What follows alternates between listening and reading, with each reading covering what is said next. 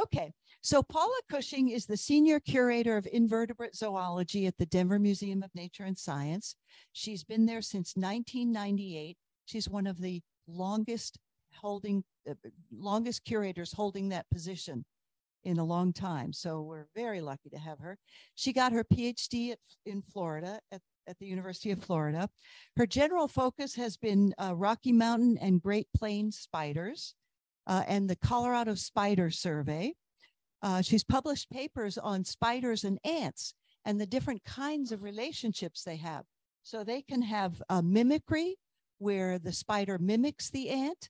They can have predatory relationships where the spider preys on the ant, and they can have associative uh, relationships where the spiders hang out where the ants are. Um, she's the co-editor of the Spiders of North America, and she's the past president and director of the American Arachnological Society. And now I have to tell you a story that I love about Paula. So while she was president at the Denver Museum, she hosted the annual meeting of the North American Society of Arachnologists. And they had their banquet at the museum, which is a really special place to do that. And you know how on each table at a banquet, there'll be uh, maybe a bouquet of flowers or some kind of centerpiece. Well, what Paula did was she captured black widow spiders and put them all in glass jars and that was the centerpiece on each table and everybody fought over them they couldn't wait to get to be the winner and take one home so my my talk today is called spider uh, spiders in fact and fancy or something like that so what i want to do in this lecture is give you an overview about why we should all be fans of spiders, why they're special, why they're important, why they're more important for you guys than just bird food.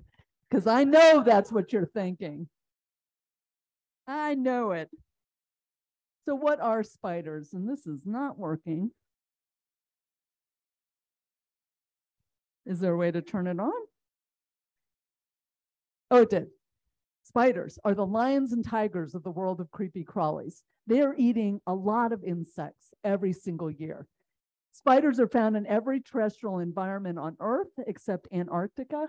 And a few years ago, a colleague, some colleagues, uh, produced a paper where they wanted to estimate how important are spiders in eating insect populations. Just taking my And what they estimated is that the worldwide population of spiders is eating 400 to 800 million tons. Don't don't change it. Million tons of prey in the form of insects. And in the same paper, if you want to just forward it, uh, they estimated that the worldwide population of humans is eating only 200 million tons of, pre- of, of protein. And so, of course, this is the kind of of uh, title that came that the press picked up is somehow they conflated this information and decided that spiders could eat the human population. Well, of course, that's not true. But spiders are eating twice the amount of protein in the form of insects than humans are eating, which is a little mind boggling. So they're incredibly important as insect predators and it is still not working. So if you could, yep. So scientists being very orderly human beings, they like to order life on Earth into different categories called taxonomic categories. From most inclusive to least inclusive, these categories are kingdom, phylum, class, order, family, genus, and species. So spiders are in the kingdom Animalia. They're animals like we are. Um, there we go. They're animals like we are. They're in a phylum called the phylum Arthropoda. And that phylum, arthropods, include any animals that have an exoskeleton and jointed legs. So arthropods include not just the arachnids, but they include insects, millipedes, centipedes, crustaceans, any, any animals that have an exoskeleton and jointed legs. Within the phylum Arthropoda, the animals that I study are in the class Arachnida. So there's lots of different classes within the phylum Arthropoda. Class Arachnida is anything with eight legs, generally with two body parts. Within that class Arachnida, there are 12 different orders. So daddy longlegs are their own order, scorpions are their own order, spiders are in the order Araneae, uh, there are pseudoscorpions, etc. Within just the order Araneae, which are the spiders, there are, as of this week, 132 families, over 4,280 genera, and over 50,000 described species. And I say as of this week because there are more species being described every single year in every terrestrial habitat where spiders are found. In fact, uh, just in 2019, some colleagues and I described a new family of spiders, the Myrmecicultoridae. And that is a, a family that includes just one species. This was a species that was collected in the Chihuahuan Desert. None of us could identify it. We didn't know where it should be placed, where its taxonomic placement was. We couldn't identify the species. And so my colleague Martin Ramirez, he used the DNA analysis and determined that this was totally different so different from any other known species that it should be included in its very own family. This spider, and it was only collected in the vicinity of ant nests. If you can forward. And these are the spiders. They've only been collected in the vicinity of ant nests in the Chihuahuan Desert. So we hypothesized that maybe they were living inside the nest, maybe they were living in the vicinity of ant nests, but what were they doing? So in during the pandemic, I traveled down and worked with one of the co-authors, one of the people who originally found this spider, Norman Horner, and we went down to Texas to the Big Bend region of Texas and deep in the Chihuahuan Desert. And we were managed to collect two adult females of this spider. And we ran some experiments in the laboratory at, uh, at the Dalquest Desert Research Station. And we discovered this just came out two weeks ago a paper came out two weeks ago where we discovered that this is a specialist ant hunter. So most arthropod predators, how many of you, let me let me ask this, how many of you will will voluntarily walk across an active ant nest? None of us would do that, right? Because they sting and they bite and they attack in mass. So ants are not a real popular prey for arthropod predators it's very unusual for, for you to find an arthropod predator that will specialize on hunting ants. But that's exactly what this spider does is it's an ant specialist. It's what we call a myrmecophage. And it is, it will sneak up to ants behind them. So it, it comes out of their little retreats. It rushes up to a live ant, it bites it in the rear leg, backs off, waits for the ant to succumb to the venom, reapproaches, grabs the ant behind the head, carries it off to feed on the ant. And if a live ant were to approach the spider that has a dead ant in its chelicerae, in its jaws, the spider will twist its body around so it presents the dead ant to the live ant like a shield. Very unusual hunting behavior. So just two weeks ago, I traveled back down to the Chihuahuan Desert to figure out whether this spider is living in the vicinity of the ant nest or actually living in the ant nest. Because wouldn't that be strange? If it was living in the nest with the animals it was preying upon. And we got some photographic evidence that suggests that's exactly what it's doing. And then the paper that eh, that just came out, we did find some evidence that this spider is a chemical mimic of ants. So it does have some uh, chemistry in its body, some chemical signals that are very similar to the ant signals that the ants use to identify colony mates from non-colony mates. So it's a really interesting and very weird system. So I'm sorry? That's a great question. The question was if they live or are associated with a specific species of ant we think that they're associated with a genus of ant, Aphaenogaster. Uh, what we've found is they're more commonly found with Aphaenogaster alba, uh, one species. But there's some evidence that they also are associated with Pogonomyrmex ants, a completely different species. So that's an excellent question. We don't know what's going on there, whether they are absorbing colony odors of whatever ant they're, they're living near. So let's talk about numbers. I said there were over 50,000 described species of spiders on Earth, but there are fewer than 600 professional arachnologists to study these animals. And if you include all the species of arachnids, scorpions, daddy longlegs, mites, and ticks, there's well over 100,000 species. Let's compare that number to some of the popular vertebrate groups, particularly for this group of people, birds. About 10,000 or so species of birds, about 5,400 species of mammals worldwide. And yet, how many birders are there? How many mammalogists are there? Too many to count. You guys are taking over the world of biology we need more arachnologists. We, we need people to ignore these minor groups of vertebrates like the birds and the mammals. So we that's one reason I love doing programs like this. I love to get people excited about this group, uh, this taxonomic group that is so important in the world. Uh, years ago, in the early 1900s, an arachnologist by the name of William S. Bristowe estimated that a one acre field, could you go to the next?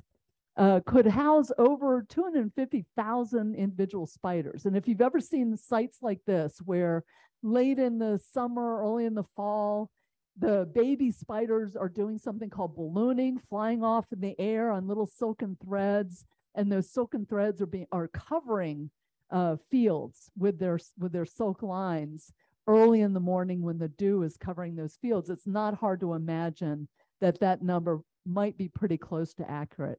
Now, I know this is a shocker for you, but I am uh, one of the few professional arachnologists in the Western states. In fact, the next closest professional arachnologist, besides my students who are in training, is a, a former student of mine who works up in Montana. And then I've got some colleagues in Kansas, some colleagues in, in California.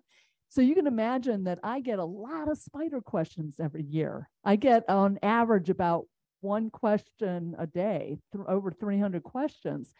And uh, I know, again, it's a shocker, but the most common reaction I get from people when I tell them what I study is this. But really, that's that is a, a, a, a crazy response. Spiders are the good guys, not the bad guys. Uh, as I've just covered, they're eating lots of insects. They're really important in controlling insect populations. I think one reason spiders kind of freak people out is because they're so foreign from us. We're diurnal, we're active in the daytime. Uh, spiders are mostly nocturnal, active in the evening, at dusk, in the nighttime. And they just, they act differently than us. They scurry around, they run fast. And of course, we all know they're predators. We all know that they're the majority of spiders, all but essentially one one species, are venomous. So when I get a call at the museum and they say, I found a spider in my house. Is it poisonous? What they really mean is, is it venomous? And the answer to that is yes. Essentially, all spiders have venom, but the venom evolved to take down insects, not to take us. We're we are we are of no interest to spiders. They can't eat us. So spiders are really, for the vast majority of those over 50,000, completely harmless to humans. Next slide.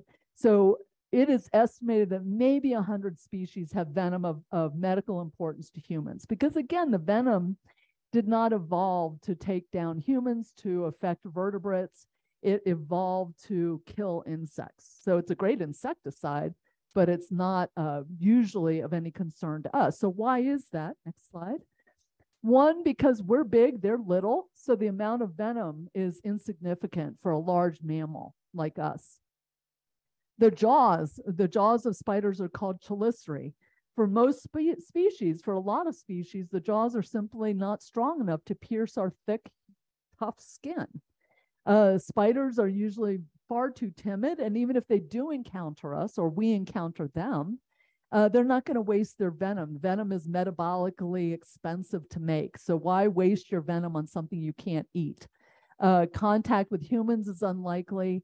And for most species, the amount of ven- or the, the venom itself has no components, no, no compounds in it that our body responds to negatively. It might hurt for a few minutes, but that's about it. Uh, next slide.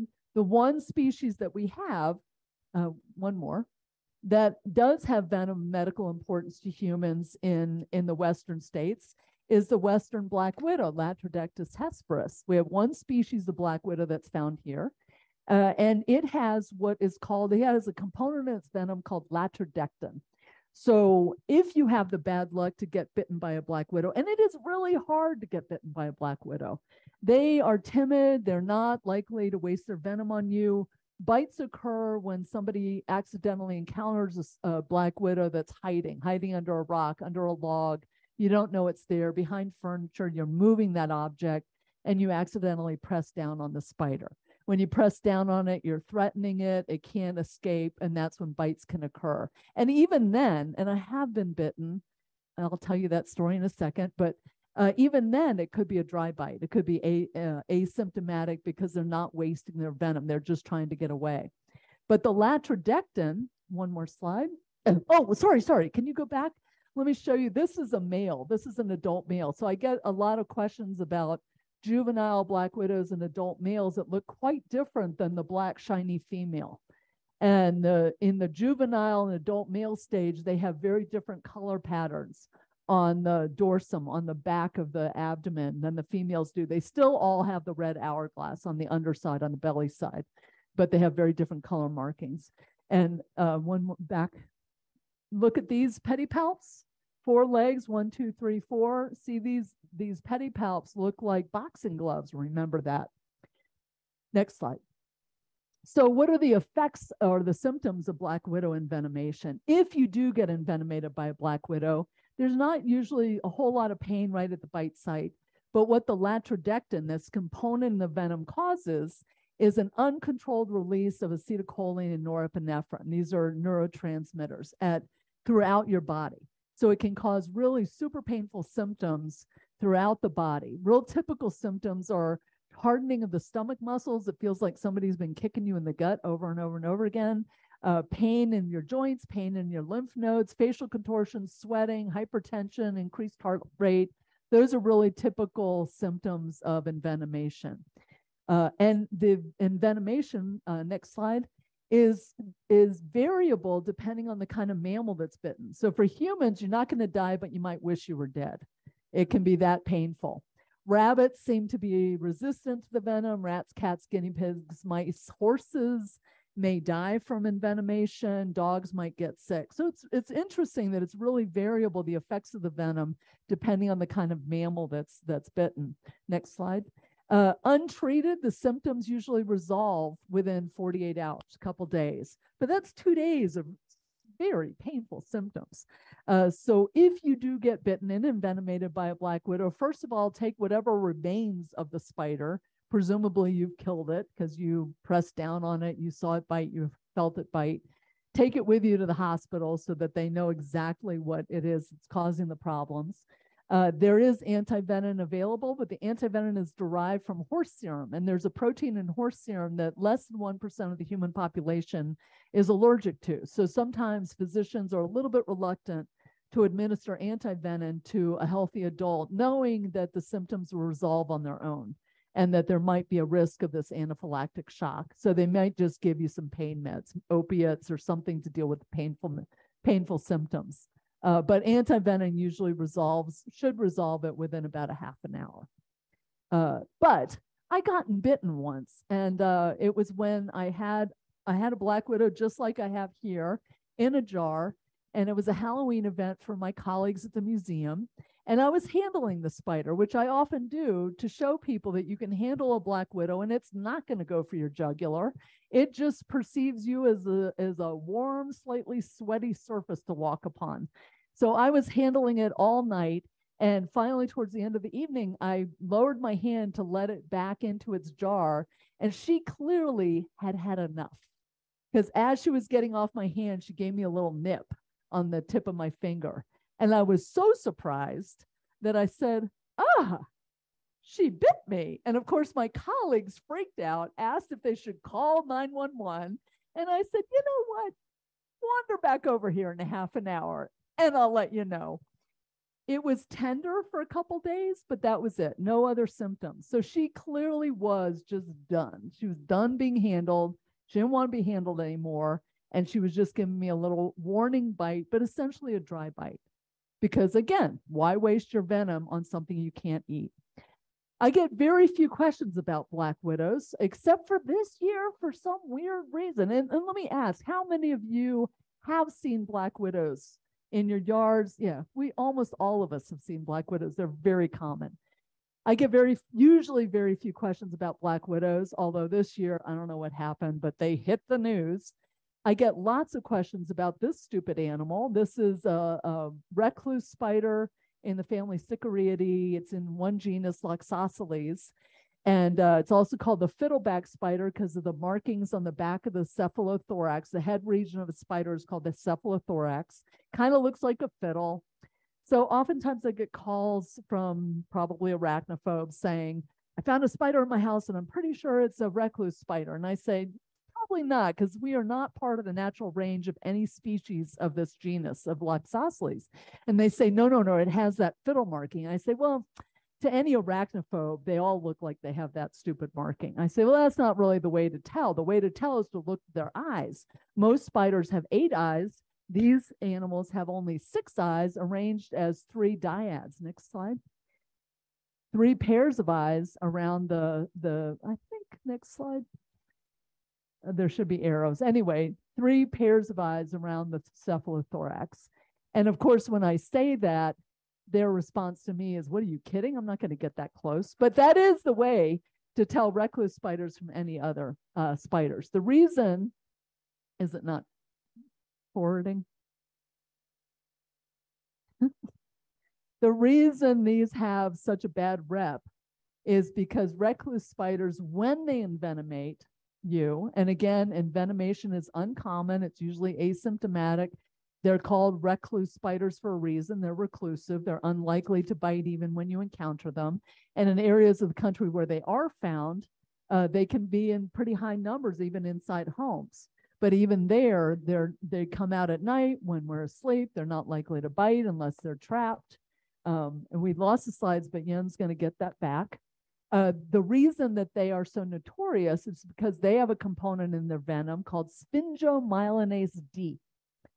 And that sphingomyelinase D in our cells of our tissues, we have sphingomyelin. Sphingomyelinase D is an enzyme that attacks and breaks down that part of our cell walls. So it causes the cell walls right around the bite site to explode. And it can cause, in unusual cases, it can cause dermonecrotic injuries, nasty wounds that take a long time to heal. That's in extreme cases. And it don't ever look on the internet for wounds from recluse spider. Like it, the World Wide Web, despite its name, is a really terrible source of information for spiders, even though it has a web in it. There's six eyes. This is the name. Sphingomyelinase D is the name of that enzyme that's breaking up the the uh, component of our cell walls. My colleague uh, Greta Binford has done a lot of research on the venoms of Loxosceles. So it breaks up the, it explodes the cells around the bite site. It can cause these open wounds that take a long time to heal. There's no anti-venom. So the best you can do is just keep the wound debrided, keep it clean, keep any secondary infection from setting in, and it'll heal over time. It'll resolve itself. Uh, next slide. This is the distribution map of the different species of recluse spiders. And what you should notice is that the natural range of, of these species does not include any of the Western states. Doesn't include Colorado, Wyoming, Montana. This is not part of the natural range of any species of recluse spider. Uh, next slide. Yet, in areas of the country where these spiders are not naturally occurring, and they can get introduced once in a while, there might be a population gets established in a point location. I've had uh, documents of populations that that show up in a warehouse in Denver, a basement in Pueblo, a place in a house in Lamar. But I guarantee that over a couple years, that population dies out. It doesn't spread because we are the wrong climatic conditions for the establishment of any species of recluse. But a lot of other conditions, a lot of medical conditions can also cause these dermonecrotic injuries. So these are some of the conditions that can cause these nasty open wounds that take a long time to heal that have been misdiagnosed as spider bites. And these include most commonly MRSA, flesh-eating bacteria, methicillin-resistant staph infection. It also includes diabetic ulcers. Lymphoma can cause these open wounds. That can be one of the symptoms of lymphoma. Now, those three conditions I just mentioned MRSA, flesh eating bacteria, lymphoma, diabetic ulcers those can be treated effectively, but not if they're initially diagnosed as a spider bite.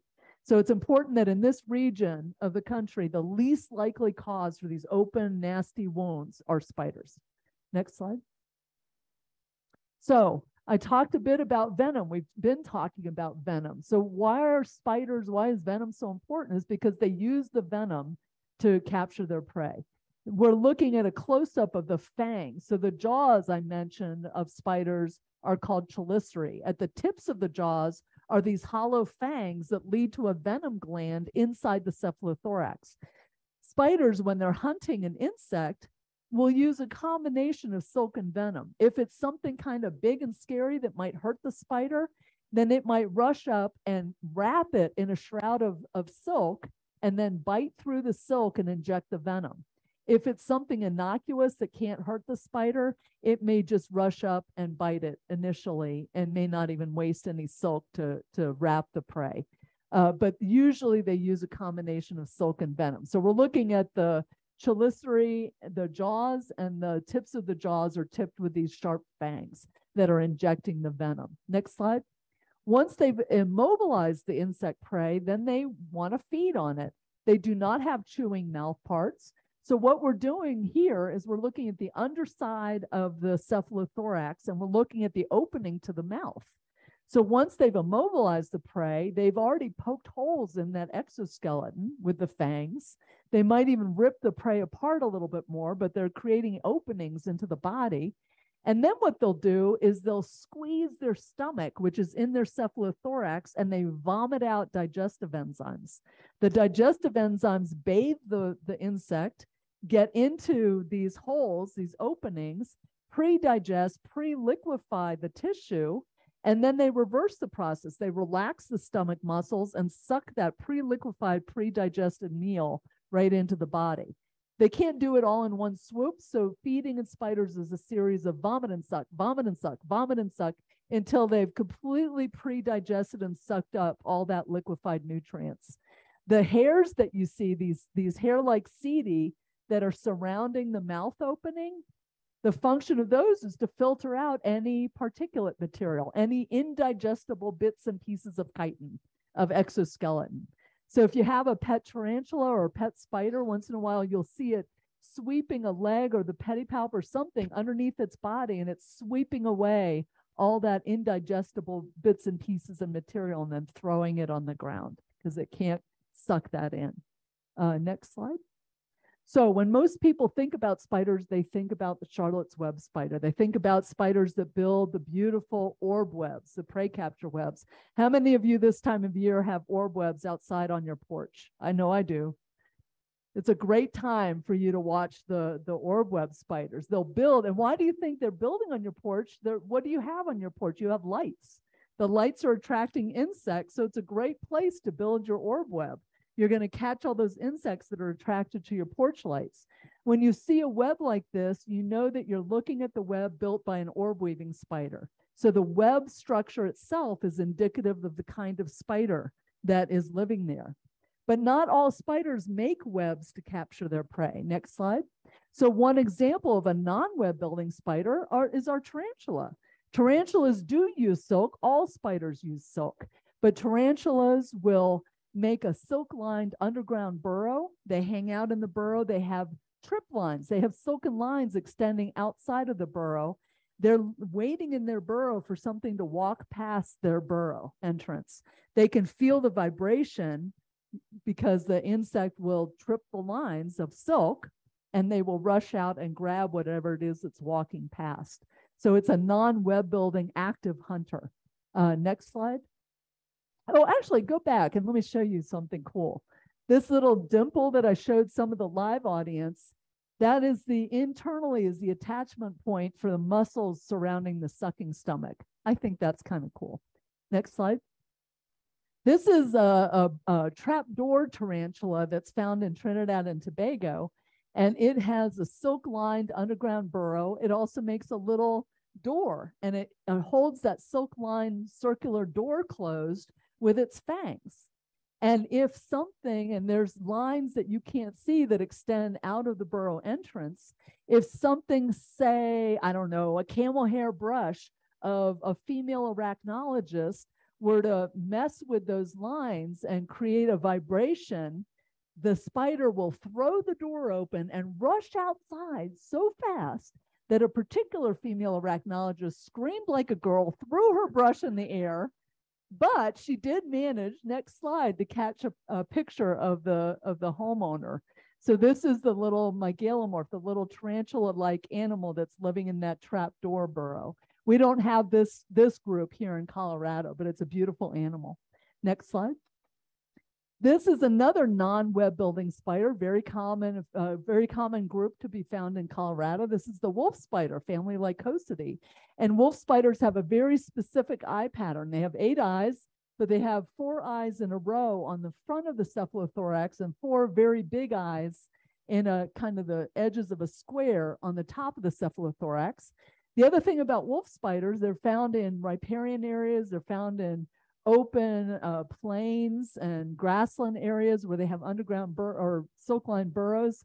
But the wolf spiders, when they're ready to reproduce and when they're ready to lay their eggs, the mama will make a little silken cup, lay her eggs in that silken cup, cover it with silk to make an egg, a silken egg sac, and she attaches that silken egg sac to her butt end, to her spinnerets on the on the tail end of her body. She drags that spinneret around with her, protecting it from parasitoids, from predators. And then when the babies, when the eggs hatch, she can feel the movement of the little spiderlings. She will turn around, chew a hole in the egg sac, and all the babies will hitch a ride on her back. And that's what you see in this upper left photo is the baby is uh, hitching a ride. I've had calls at the museum where somebody said, I've had a giant spider in my house and I I was so freaked out. I stepped on it and it exploded into hundreds of more spiders. And of course, that was a wolf spider. They stepped on a mama that had all the babies on her back, and the babies all dispersed when they when they crushed her. Next slide. Another kind of um, non. Oh, this is the underground burrow, the silk line burrow of the of the wolf spiders we have out on the plains.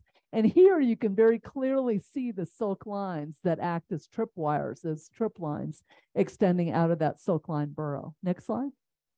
Uh, it's probably for some of the wolf spiders that we have here, uh, just the body length can be almost an inch, and with the legs probably about like that, probably an inch and a half in diameter. So the burrow itself can be about the size of a quarter for a big one, pretty large. And then the, you'll also see a very similar kind of burrow for the tarantulas that live in the southeastern part of the state. Next slide. Uh, fishing spiders, and, and I think go one more and it'll have the name of the animal. Fishing spiders are in the family Pisauridae. Fishing spiders we also have here in Colorado. They're found in permanent, where, where you have permanent bodies of water. They monitor the water with the first pairs of legs and they're they're feeling for vibrations of aquatic insects or little fish that are swimming below them. And if they feel that vibration of a potential prey they they will uh, dive down and drag it up to the surface of the water and begin feeding on it. Next slide. Another kind of non-web building spider are jumping spiders in the family salticidae. Jumping spiders are one of the few groups that are active in the daytime and they have extraordinarily good vision. They can see in color, they can form full images. They have eight eyes that are arranged like a U around the, the cephalothorax. The front eyes are very large. If you encounter a jumping spider and you move your finger back and forth, it'll track that movement because it, it can see, it can see the movement. They hunt like a cat, so they will creep up on their prey and then jump at the prey. Um, if after the lecture, if you're interested, I can tell you about jumping spiders sent to the International Space Station. They can see nearly 360 degrees around themselves. They can uh, see in color. So oftentimes they're very colorful patterns on their body. The males, when they encounter a female, will dance for their lady love. So they're very cool spiders. They're very cute spiders. So not only do they have a cute vision, but they're just a very acute themselves. Next slide.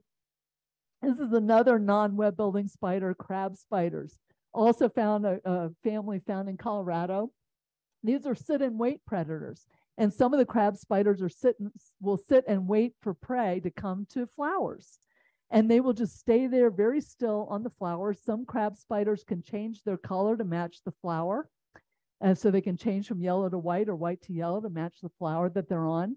They have very spiny front legs that they will use to trap the, the pollinating insect when it does come to the flower. Very unique eye pattern. Next slide shows a crab spider that is feeding on a fly. And all you can see of the crab spider are the legs. Next slide. Uh, this is, how many of you have seen this animal in your gardens? Yep. So this is uh, called a louse hunter. It's family Dysderidae. Called a louse hunter. It's a species introduced from Europe, Dysdera crocata, and it specializes, next slide, on hunting pill bugs or roly-polies. Pill bugs in Europe, where these this species is found, are called wood lice. And this animal specializes on hunting roly-polies. It has very large chelicerae, very large fangs, and it uses those really long fangs to pinch around the round body of a roly-poly or pill bug. And this is just cool. You can actually see the heart of the spider through the chitin of the abdomen, which I think is kind of neat. Next slide. Uh, this is another a really cool spider. It's a spitting spider in the family Scytodidae. This is not found here, although once in a while we get them introduced. It is found in the northeastern part of the United States and in the tropics.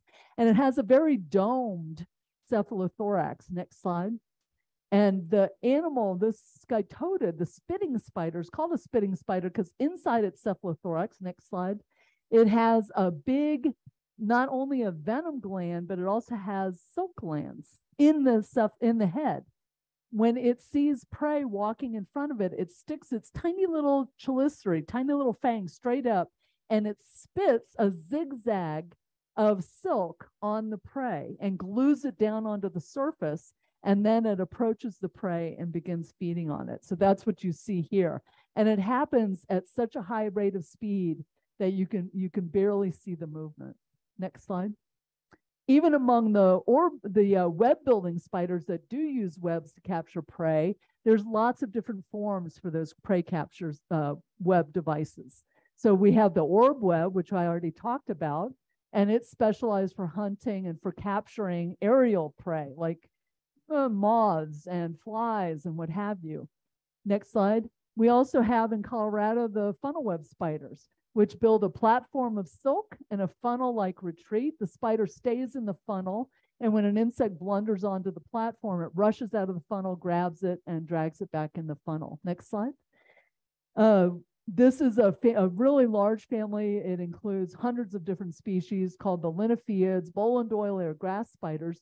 If you ever go out and into your yard early in the morning when dew is in your yard, Look in the divots of your yard and you might see a little tiny silken web. That web belongs to a linyphiid. Linyphiids include the tiniest little spiders. So some of the tiniest spiders. The largest uh, species of linyphiid is only about four millimeters, five millimeters, so less than a quarter of an inch. Most of them are about two millimeters, two or three. And they are also called bowl and doily because they make this kind of a web in the bushes where it has a bowl-like structure and a doily underneath it. They can perceive insects that fly into any, any area of that web. Next slide. A triangle weaver is found in the conifer forests in Colorado, and it's for obvious reasons called the triangle web spider. The spider itself is right here. It's holding on to a single silk line that's attached to the apex of the triangle, and it maintains tension on that triangle when an insect flies into the triangular web, the spider will release that tension and cause the web to tangle the prey up in it. Next slide. And this is just, this is not found here, but just a very cool spider. It's called an ogre face spider for obvious reasons. This animal is found in the tropics, some subtropics. It's found in Florida. It hangs upside down in the vegetation and it wa- and it builds a little postage stamp size web that it holds onto with its first pair of legs. When it sees an insect walking below it, it pushes the web into the insect and tangles it up, kind of the inverse of fishing. Next slide. So now, now, regardless of whether we're talking about tarantulas, web builders, non-web builders, lycosids, orb weavers, doesn't matter. One of the common characteristics that all spiders have is silk production. Spiders have silken glands, silk glands, up to six or seven different kinds of silk glands that are producing six or seven different kinds of protein-based silks. They have those silk glands in their abdomen. The silk itself, that protein-based silk, is in liquid form. When the spider releases its silk, it squeezes the liquid silk into tubes that lead to spinnerets, which are on the butt, on the tail end, the butt end of the spider. On the surface of the spinneret, spinnerets are tiny little silken spigots. As that liquid silk is squeezed up out of the spider, it is released as a droplet. And it only changes its proteinaceous structure from liquid to solid when it's put under some tension. And that can happen literally when the spider pulls the silk out of its own abdomen. It can happen when the spider releases the droplet and a, and a wind current carries it away. That's enough tension, change it from liquid to solid. It can happen when it attaches the droplet to a surface and moves away. That's enough tension to change it from liquid to solid. Spider silk, and next slide, so this shows where the silk glands are, and they use the spider silk for a whole variety of purposes. They use some of that silk that's made by some of the glands to protect the eggs in the silken egg sacs. Some of the silk is used for dragline silk. Some is used for making the prey capture devices. Some is used to for the underground burrows. Those are those are different glands that are involved in those different uh, different functions. Spider silk is extraordinary. It's an extraordinary material. Spider silk is stronger by unit weight. Some spider silks are stronger by unit weight than steel and very, very elastic. So spider silk is kind of the holy grail of material science. Material scientists would love to figure out how to mass manufacture a material that has the identical properties as spider silk. Uh, next slide. This is a story I love to tell because it's so crazy in Madagascar, a group of, of material scientists, or I don't even know what field they were in, but they they were working in Madagascar, and outside their laboratory in Madagascar was a population of the golden orb spiders in the genus Nephila. That's the genus name. They're called golden orb web spiders because this color, that's what their webs look like. They're bright, bright yellow. So these crazy scientists decided to build a little contraption where they could gently uh, immobilize one of these spiders. So they went out, they grabbed the spider, they brought it in, they put it in their little contraption, and then they milked the silk, the yellow silk, out of the abdomen of the spider. And when the spider got tired, they gave it a little water, put it outside, got another spider, kept doing this, and kept milking the silk, this bright yellow silk, and spooling it until they had enough to make, next slide, this.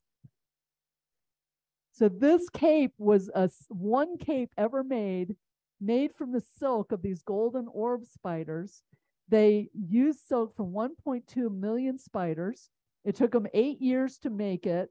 One ounce of silk was silk milk from 23,000 spiders. And what I love about this cape is if you look at the at the at the designs that they wove into the silk it's an homage to the spider itself. It has the spider and the habitat and the and the flora and the fauna that are found in that area of madagascar. This was on display in the in the albert museum in um, in england i think in great britain for quite a while. I don't know where it is now. And hopefully it's still on display somewhere. Next slide so the last part of my talk I want to talk is, uh, is of course the sex part, because why not leave you with sex and spiders? So how do you tell males and females? For those of you who are here in person, we went over this a little bit. Spiders have eight, eight legs. They have four pairs of legs. They have these front appendages called pedipalps. With spiders, with the females, her ovaries are in her abdomen. The male testes that are producing the sperm are in his abdomen. But the male has no intromittent organ like a penis associated with his abdomen.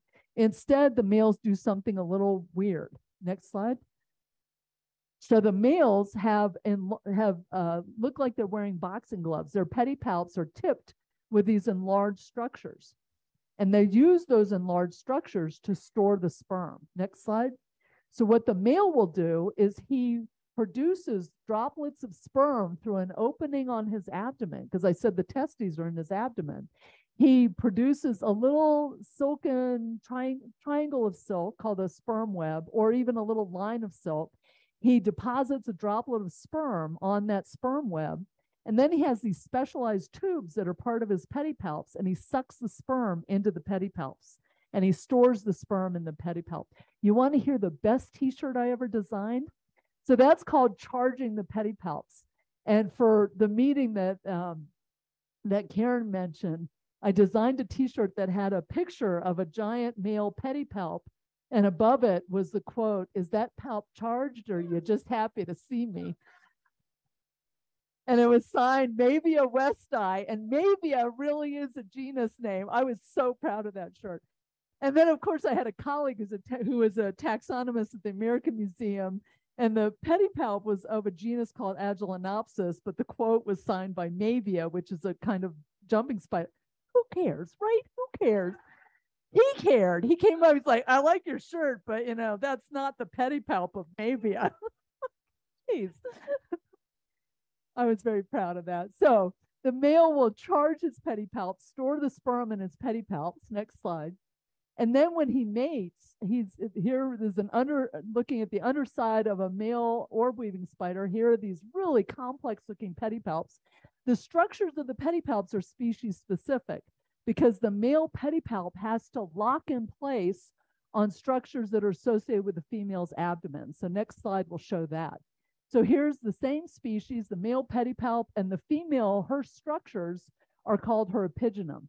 So the male locks his pedipalp in place, kind of like a lock and a key, and then he unwinds that tube into her and inseminates her with the sperm. Next slide. So this is our male tarantula that I just introduced you to. Uh, this is one uh, that I took in the field. But here we see his enlarged pedipalps. And with tarantulas, they have hooks. Some species of tarantulas, the males have hooks on the underside of their front legs to hook onto the female's fangs so she can't nail him when he's mating with her. But when he approaches the female, he will tap on the ground and sing a sing a sing a song to her and if she's interested, she'll she'll let him approach her, and then he'll wrap his pedipalp around her and inseminate her. Next slide. Now, for for non-web building spiders, there's oftentimes not much difference in the size of the males and females, but for web building spiders, oftentimes there's a really extreme sexual dimorphism, and it's almost always in favor of the female. So this is a picture of that same genus Nephila. This is the adult female. That puny little thing is the adult male.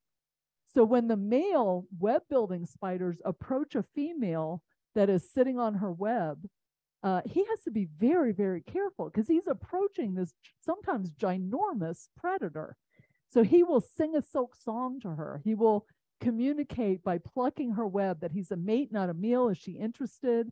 If she's interested, she will respond accordingly, and he knows it's safe to approach. And then he might do some more contact courtship and if she's still receptive, then he'll wrap his pedipalp around and mate with her. If she's not receptive and she rushes at him because she perceives him as something good to eat, he'll just drop down on a dragline of silk and get away. For non web building spiders, the male will dance for this lady love. So jumping spiders go through this really elaborate courtship dance and they wave their pedipalps around. They get very excited. And if the female's interested, she'll respond and then he, he will approach her. Although, let me tell you a little story. I had a, a jumping spider one time. I had a male and a female, and I had the female in a petri dish. And so I decided that I, I wanted to uh, feed them. I wanted to introduce them. But what I did with the male, I wanted to make sure he was well fed before I introduced him to the female. And so I put in, and this was a, one of our common jumping spiders. It's all black uh, in color. It's, Phidippus, it's a genus called Phidippus. It's also called the elegant or something. I don't remember the common name. But I put a housefly in to feed him. And apparently that little male was like, about the right color, about the right size, and he starts dancing for the like not the not the brightest moment. he was very excited, but for the wrong reasons. Next slide. So uh, I will leave you with some advice, which is from Dr. Thomas Muffet. So we all know little Miss Muffet sat on her tuffet and was scared away by the spider. So rumor has it that she was the daughter of a real life physician in the 1600s. And Dr. Thomas Muffet, lots of physicians back then would use spiders in their remedies, including if somebody came to Dr. Muffet's office with fever, uh, then he might suggest that they swallow a spider in a bit of butter. That'll take care of the fever. If they had asthma, he might suggest that they swallow some spider soap. That should take care of the asthma. Warts, rub them with spider soap. The last one probably is efficacious. We've already talked about how strong spider silk is. And it turns out that spider silk is also slightly acidic. So you're not likely to find fungal spores or bacteria growing on, on fresh spider webs. So spider silk might actually serve as a pretty good bandage. Um, next slide. And so I will leave you there.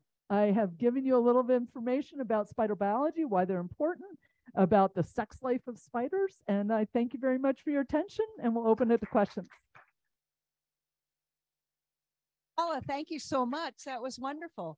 What we do now is we go back and forth between um, the Zoom and the room. So let me start here. Do we have any questions here in the room? This really is your opportunity for spider question. Yes, ma'am. So the How many, question ba- was, I can, yeah, how many babies on a wolf spider? That's variable depending on the species. Um, and I don't know the answer, but probably anywhere from several dozen to maybe a hundred, depending on the species of wolf spider. So the, the egg sac can contain lots and lots and lots of babies. Most of them are going to die, but several will make it through. What would the song be like? Uh, it, it that's also species specific. So the kind of vibrational sex song that a wolf spider would tap on the ground, or the kind of dance that a jumping spider would do, or the kind of silk plucking that an orb web or other kind of web builder would do is species specific. So there's a lot of, of barriers to interspecific to two different species mating. Like if if species A and male of species A approaches female of species B, he's not going to have the right vibrational cues, the right dance, or the right song, and she will probably not be receptive. So that's one of the evolutionary barriers to hybridization. Other? thanks. Do we have a question from uh, the Zoom? Megan, do you have any questions? Yes, looking at the chat, and thank you very much for the for the presentation. Looking at the chat, um, there's a question about for those orb weavers that have like the little bit of extra white zigzags of denser web in their webs. Is there a purpose for that? Yeah, that's a great question. So what they're talking about is a is a bright white zigzag pattern that we find in the webs of certain species. So it could be species called Argiope, uh, some species in a family Uloboridae will make a, a, a, a weird kind of um, decorative zigzag line in their silk. And there's that's kind of a hot topic in arachnology. It comes and goes, but that that bright zigzag of silk is called stabilimentum. And there's uh, several hypotheses as to the function of stabilimentum. For a lot of species that that incorporate that bright zigzag of silk, the the spider will actually stay in the middle of the web, right in the, in between the lines of zigzag silk during the day when actively hunting arthropod predators are active, birds, wasps, etc. So one hypothesis is that maybe that zigzag of silk uh, disrupts the outline of the spider and makes it harder for a predator to see the spider because this bright white silk is there. Other researchers in Taiwan um, have have demonstrated that that bright white silk reflects in the UV. And as many of us know, a lot of flowers or resources have UV reflective patterns in them that lead to a resource like nectar. So his hypothesis is that maybe that bright white silk is actually attracting pollinating insects to the web. Uh, or it could be that there's a lot of different adaptive advantages to having that bright zigzag of silk. But those are a couple of the major hypotheses as to the function. That's a great question. Another In the, it-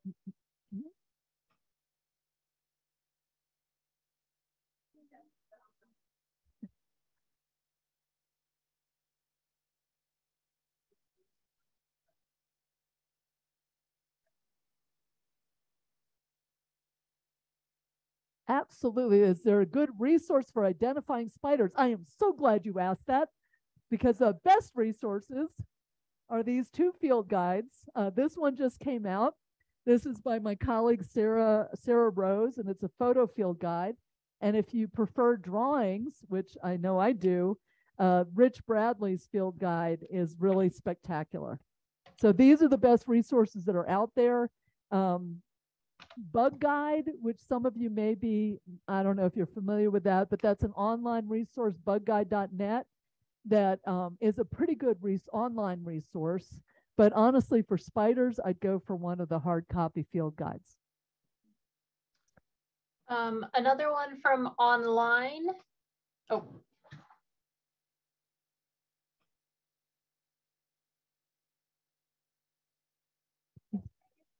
Are, are you waiting for the online one? Okay, another one from online from Pam Biambino. I have a lovely close-up of, or I have a close-up photo of a lovely hogna taken in my yard. What are the red structures behind the Chelicera? Of a, of a lovely what now? Hogna, H-O-G-N. Oh, Hogna. Uh, the, the the so the what they're talking about is on the on the outside of the chelicerae of some wolf spiders, there's um a bump on the on the chelicerae called a boss. To my volunteers, I tell them I'm the boss, but that's a different issue. But it's a little a little bump on the chelicerae, and sometimes it's bright red.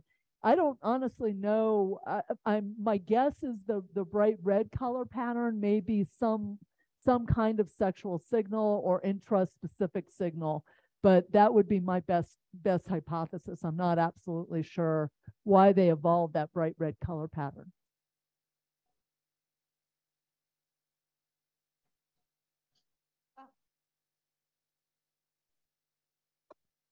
Uh, two two quick questions.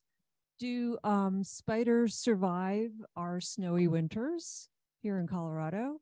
And uh, how do house spiders survive? Do they find stuff to eat inside, or do they perish? Great. Uh, those are good questions. How, uh, do spiders survive in our in our harsh cold climates? Generally, no. So if they're a species that's building a web where the spider itself would be exposed to our freezing temperatures, the adults will usually the usually the males are they mate, they die. You know, throw away, throw away sex. I think that's why there are so many female arachnologists. But anyway, the the males will typically die after they've mated for most species, not all. Obviously, not all, because little bashful's been alive for forever. Um, they mate. The females will lay their eggs. The eggs can overwinter. They can. They're protected from the from freezing temperatures with the silk. So the silk does protect the eggs.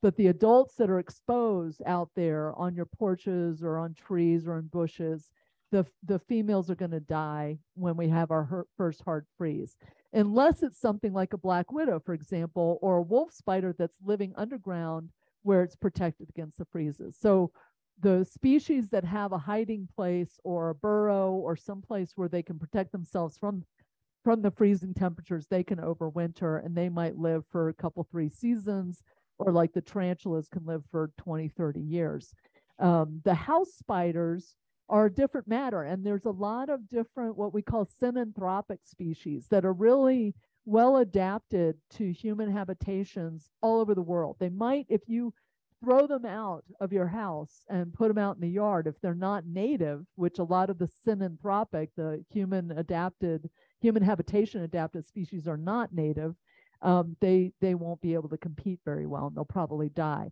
But in your house, they're eating gnats, flies, mosquitoes. They're great to have.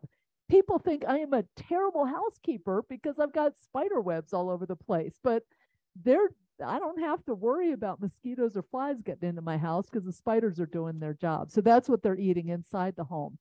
the now in terms of in, being inside the home, uh, you may have noticed that where you see spiders very frequently is bathrooms, kitchen sinks, bathtubs. They're not crawling up through the drains. That's a myth. But what they are doing is spiders can go a long time without food. They can't go very long without a source of moisture.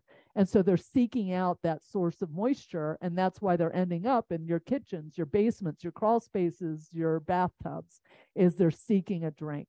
If you find one in your bathtub and its legs are kind of drawn up, uh, and it's still alive, give a little droplet on the underside of the cephalothorax. You'll see it sucking that moisture up, and then it can stretch its legs out because it turns out spiders have they have flexor muscles in their legs but they don't the only way for them to extend their legs and move is by increasing blood pressure. And if they're desiccated that's why their legs draw up. Cool little factoid. So this is very much a follow-up to that question. Someone asked catherine young asked is there any benefit to a spider um, that is indoors in releasing it outdoors? Uh,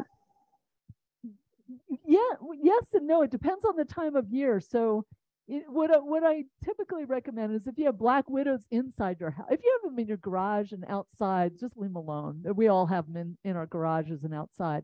If you find something like a black widow, even I will get rid of the black widow that's inside my house. But for other spiders, if it's in the spring, if it's in the warm weather, there, there's no harm in just in in nudging them outside and letting them loose. But if it's in the dead of winter, then you're going to be killing the spider if you let it loose outside, because um, it probably will freeze. But it's a it's still I don't I don't it's not like I, I don't recommend doing that. If you if you're kind of freaked out by having a large spider in your house, go ahead and wish it well and put it outside and hope for the best.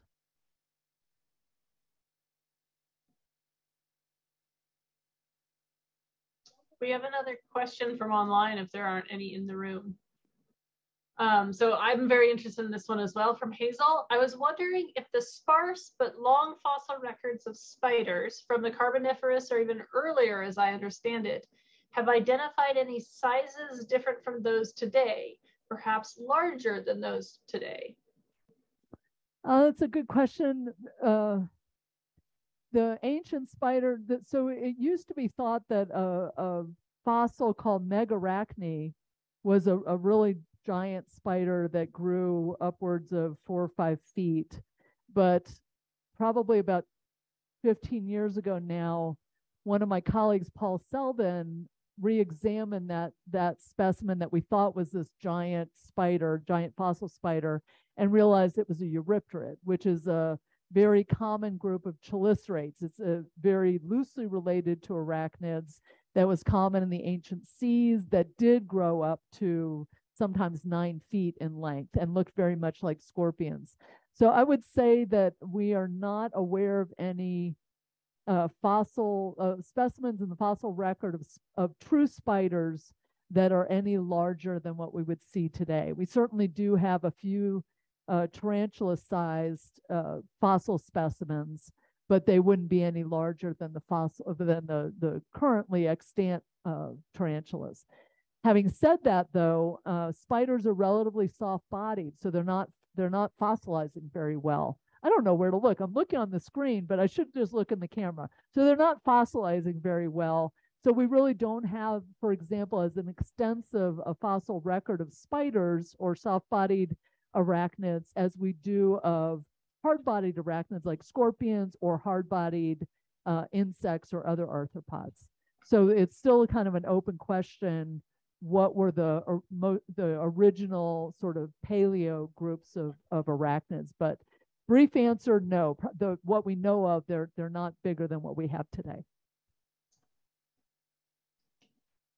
And one final question. Uh, those of us on the Zoom meeting, we kind of missed that first book that you showed.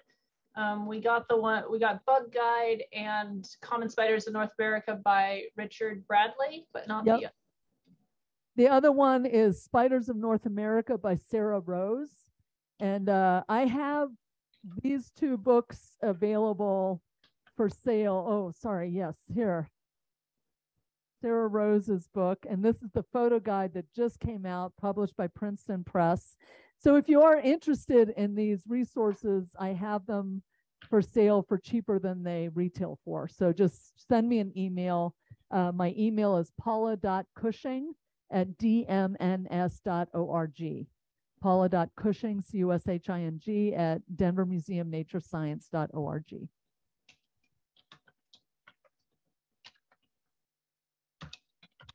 Other questions online?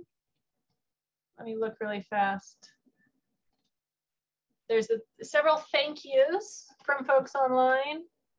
Um, oh, there was one earlier, the follow-up about what species your tarantula is, bashful is. They were asking if you, you, you weren't, you said you weren't sure, but does it have a common name for either of those species that it might be? Oh, for the tarantula? Yep.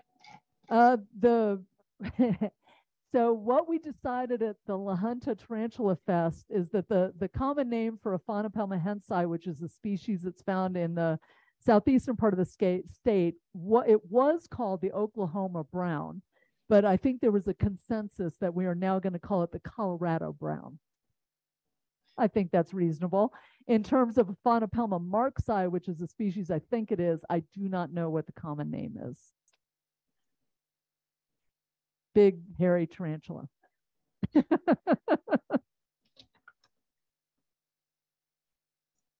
It looks so that might be all of our questions. Um, Megan, are there any more? Sorry, it took me too long to get back. Um, what are all of the spiders that we have in Colorado? And thank you so much, by the way. This was very entertaining and informative.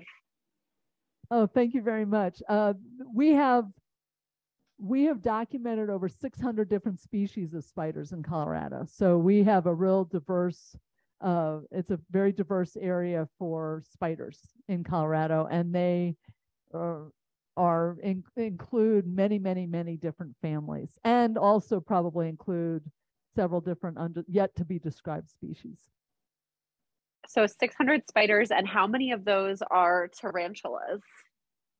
We have uh, well one species of uh, well that's a hard question. We have one big hairy tarantula which is the Aphonopelma hentzi but then on the western slope we have at least one species of burrowing mygalomorph tarantula like spider that is in a genus called Ummidia um, and it's we, we may even have two different species of that trapdoor spider in the western part of the state. Oh, because I had heard of Texas brown and then the Oklahoma, but now I wonder if people are simply using Oklahoma and Texas interchangeably for the same spider. Well, they're not. They're not. They haven't caught up with the taxonomic uh, scientific literature. Is what's going on. So, uh, well, probably about eight years ago now, some colleagues who are tarantula experts published um, um, what we call a monograph, which is a revision of the genus Aphonopelma. That's the genus that my my boy belongs to, in which they synonymize. We thought that we had five or six or seven different species, and in that paper they realized using DNA and morphology that no, we really just have one in Colorado. But it used to be that we thought we had several different ones. Whoa, thank you so much. That was sure. helpful answer. You're welcome. Thanks very much.